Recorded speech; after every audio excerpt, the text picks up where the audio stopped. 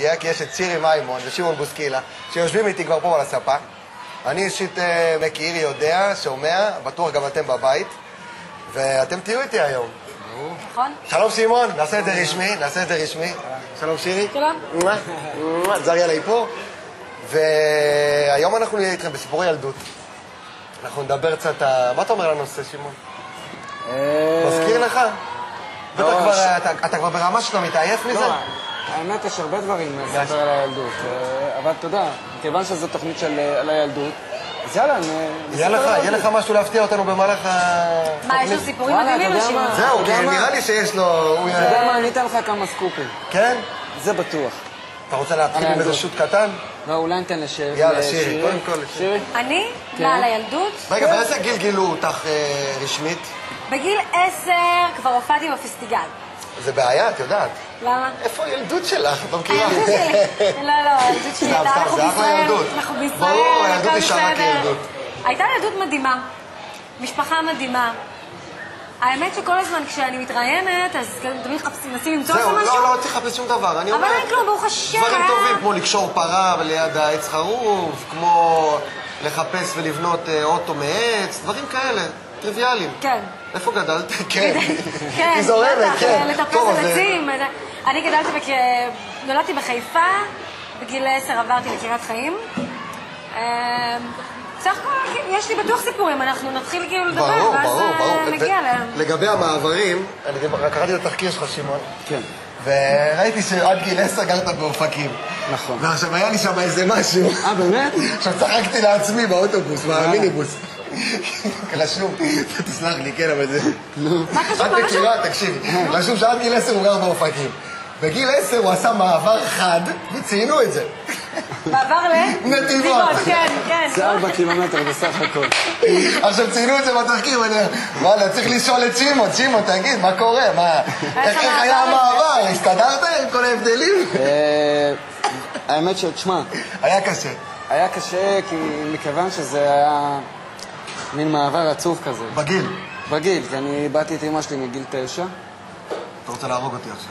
אה, טוב, אנחנו מדברים על הילדות. לא, ברור. כן.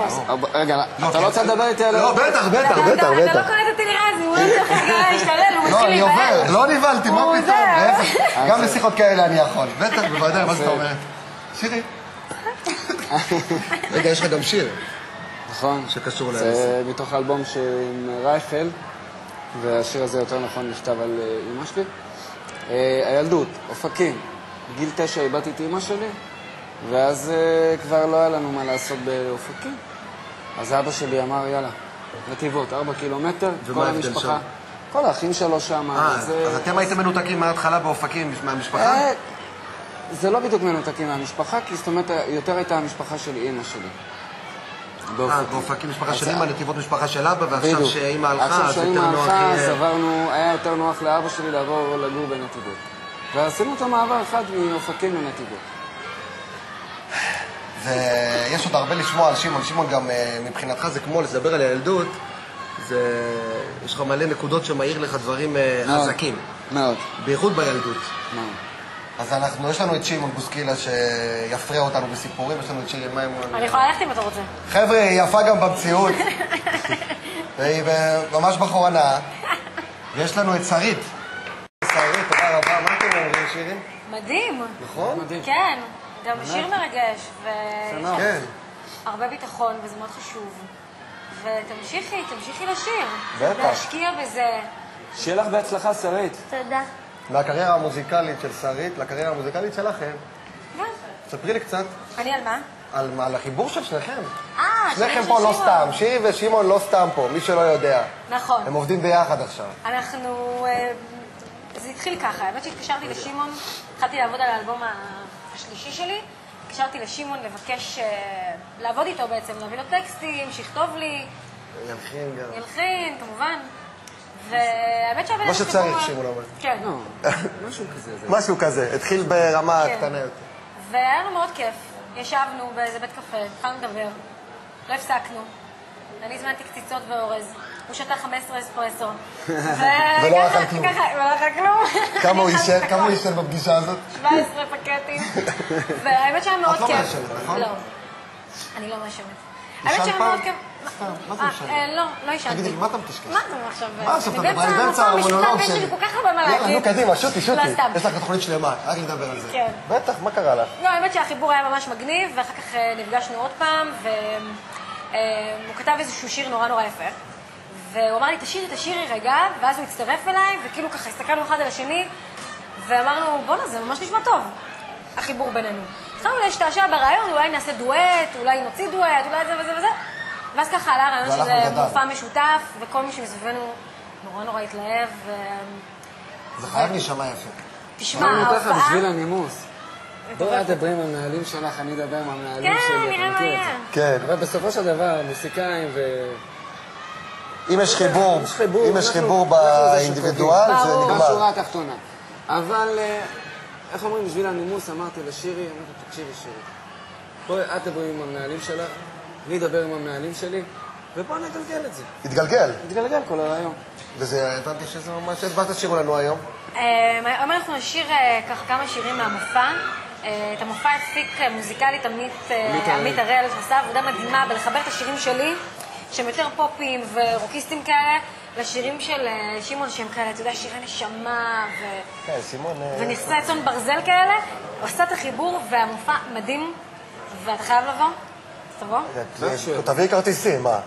לא, לא, זה- קונים. זה אצלנו- עובד ככה? מתי המופעים? בואי תראי אה, לי נראה, אז כבר, עכשיו? תביאו כרטיסים, הוא מנצל את לא, ה... כרטיס אחד אתה ביקשתי מבין? לבוא להופעה בעמידה, מבחינתי הכל בסדר. ברור שתקבל כרטיס. רק תגידו מתי, יש לנו יש לנו ב-13. ב-13 לחמישי בלהבות חביבה. יום חמישי הקרוב. יום לא, חמישי יום הקרוב. חמישי הקרוב בלהבות יום- חביבה, נכון. 13 סליחה, לחמישי. שזה יוצא 13 לחמישי, ולהבות חביבה, סולד אאוט, לא להגיע.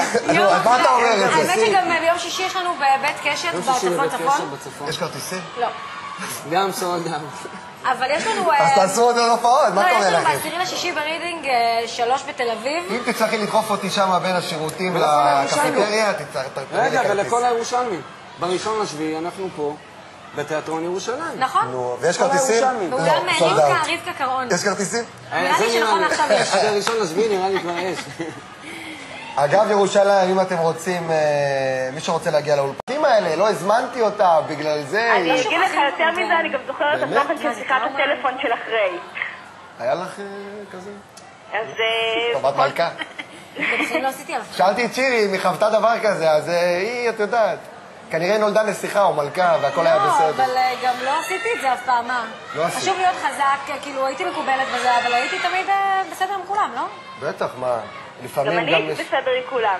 שיר, אנחנו נקדיש לך ככה לסיום. בבקשה, שירי. אה, לא, איך, אה, איך, איך הצלחת כאילו לסלוח לה על זה? אה, מה שקרה זה שהיינו יחד בצופים, לפני שאני מסיים, רק את רואה שירי, תראי את ההפרש בין רימון, את רואה במוניטור? כן. את יושבת כל כך מנוכר וקר, זה נראה כאילו... את יכולה לשבת לידינו. ככה, כמו שאני יושב. כמו את רואה? ככה זה סלון משפחתי. ישבת כאילו את באה לראיין אותי לעבודה. אני ושמעון, ואת כאילו הבוסית. בבית. חבר'ה, תקשיבו, אתם לא נראים לי, תשמעו. הנה, היא. מרגישה בבית. איזה עקבים? מברזלים היא לובשת. חיה על הקו. חיה על הקו, שירי, באמת. זהו.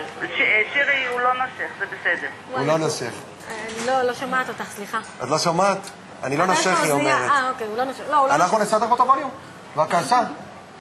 אצל מישהו אחר זה משהו פנימי. כן, אבל היום את, אה, את היום את אישה כאילו בוגרת, והיום את יודעת איך להתמודד עם, אה, עם לקחת כאילו חיסרון ולהפוך אותו לאיזשהו נכון. יתרון. אבל בתור ילדה, איך להתמודד, כאילו... אבל היום אני משתמשת בזה כדי, ו- ו- ואני מנצלת. וזה בעקבות הילדות הקשה שהייתה לך? זה מה שגרם לך בעצם להתחזק? או שאת בן אדם כזה פשוט, שהצלחת כאילו לעבור את הטראומה הזאת ולהמשיך הלאה ו... מבינה למה אני, מתכוונת? כי יש אנשים שיכולים לעבור את מה שעברת זה ו... שילוב גם וגם. זה גם